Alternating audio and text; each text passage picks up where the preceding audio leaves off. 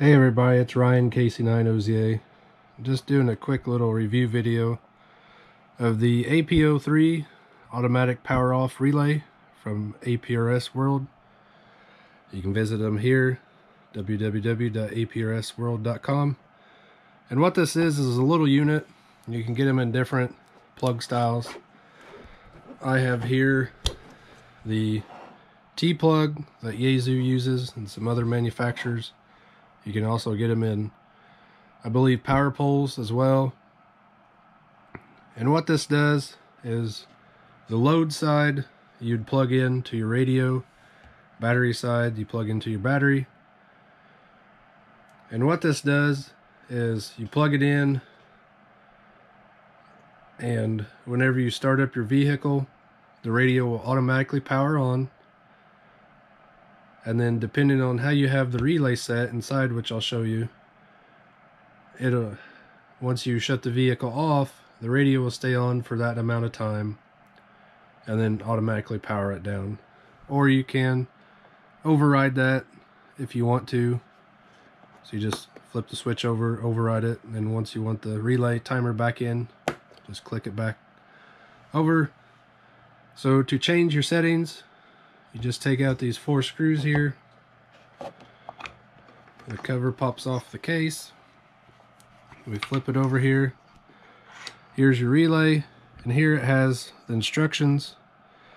So depending on your voltage you want, you can switch these little relay switches here, depending on how you want the voltage. Then over here is your delay. So if you want none, you swap three and four to off position. If you want five minutes, you have three off, four on, 10 minutes, three on, four off. Then I have mine set for 20 minutes. So it'll be three and four will both be on. So that way after I power the key off, 20 minutes, the radio will shut down. So that way it can still beacon my APRS location even after I shut the vehicle off. Or if I'm sitting in a parking lot and I am still want to finish a QSO, 20 minutes is usually plenty enough time to do so. If not, you'll just have to restart the vehicle, shut it off, and it'll reset the timer. I've had this in my truck for a little over a year now. Very happy with it.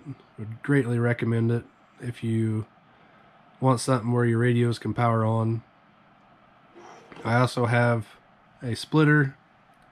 So the micro CB that you've seen in some previous videos it is also on this unit. So that both it and the 400 power on and off at the same time. That way I don't accidentally forget. And nice little unit, very well constructed.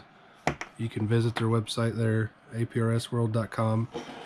And I believe they're around $50 about 60 I believe with shipping. But overall very nice little unit. I'm very happy with it.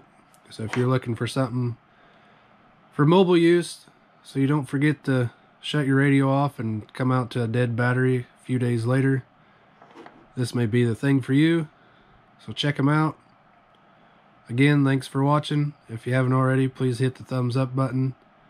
And if you're new to the channel please subscribe check out some of our previous videos.